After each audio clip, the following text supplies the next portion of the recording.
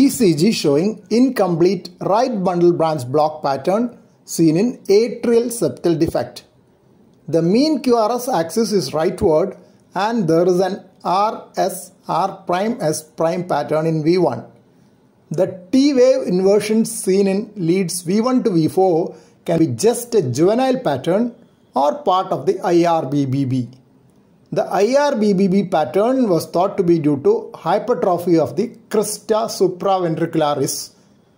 IRBBB pattern is seen in right ventricular volume overload. It could also be due to true delay in the right bundle branch. Even though IRBBB pattern is the characteristic ECG pattern of atrial septal defect, typical pattern may not be seen in all cases. A Crochetage sign has also been described in atrial septal defect.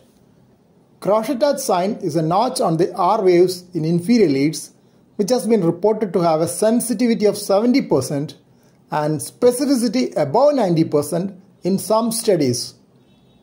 Early disappearance of the Crochetage sign was described in 35% after surgical correction of atrial septal defect even when the IRBBB pattern was persisting. Left axis deviation may be seen in ostium primum atrial septal defects.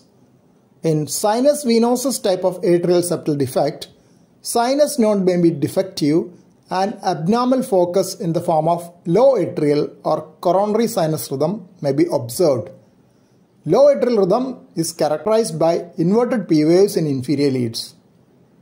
Prolonged PR interval or first degree AV block may be seen in familial secundum atrial septal defects.